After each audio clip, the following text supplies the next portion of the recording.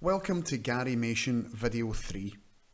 In this video, we're going to look at how adding GIFs into your uh, animation videos can really make your, your video look much more modern. But it's a fine balance. We don't want to end up with a website or a video that looks like Homer Simpson's. If you don't know what that looks like, here's a short clip. Homer, bring that back in the house. Fine. Dancing Jesus! If there's a better use for the internet, I haven't found it. If you've committed a crime and you want to confess, click yes. Otherwise, click no. You have chosen no, meaning you've committed a crime but don't want to confess.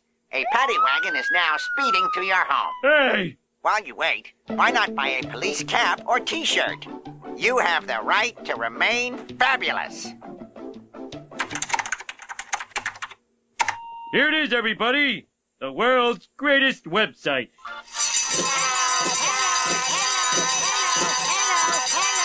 You'd think all the noises would be annoying, but they're not. I got suspended from school today. No kidding. Inserting your GIFs into a PowerPoint presentation to turn them into a video is actually just as easy and is the same way you would insert any image. Um, let me quickly show you how, how best you can do that. First, you just want to go into a Google search. Now what I'm going to do is search for notifications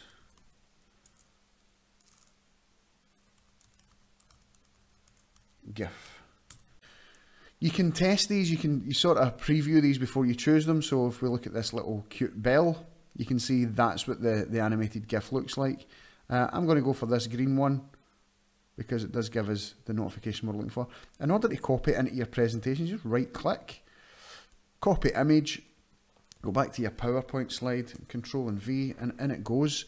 Now you'll notice obviously, um, as we spoke about in uh, video one, the background doesn't quite match the image. It's close, it's green, doesn't look too bad, but what we can do to blend it in is we can actually just change either the colour of the background to match that colour there, this green colour. There we go. And when we demo that, you'll see that it actually covers up the whole slide, which is exactly what you want. Um, what I'm going to do though, is I'm actually going to revert these colours back to the original colour. And what I'm going to do is make this a little bit smaller and I'm just going to create a round corner border for it, which is dead easy. You just go into your shapes in the tab and your icons at the top. Choose a round cornered one. There we go. I'm going to send it to the back and then I'm going to change the colour from blue to the same colour of green and then I'm going to remove the line. There we go. You can animate that the same way you would animate any other text so that it comes in, flies in, fades in, whichever way you want. Um, but I'm sure you'll agree, if you had that on screen, especially when you're turning your PowerPoints into uh, animated videos, if you've got a slide that's sitting fairly static while you talk, having something like that can really keep the viewer's attention on the screen while you tell them everything that they need to know.